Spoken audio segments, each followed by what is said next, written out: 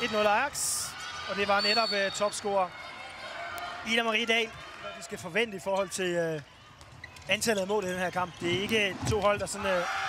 Hold, jeg, jeg, håber, der kommer langsom gengivelse. Ikke fordi, det var verdens sværeste situation, står i, men, men det er altså... Prøv lidt mærke til hendes bevægelser.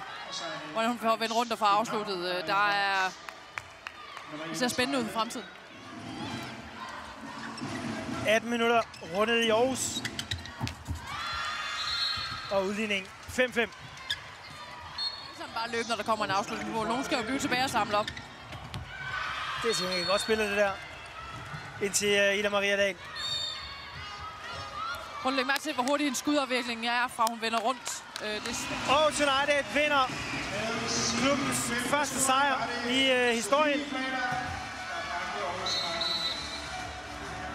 Reducering af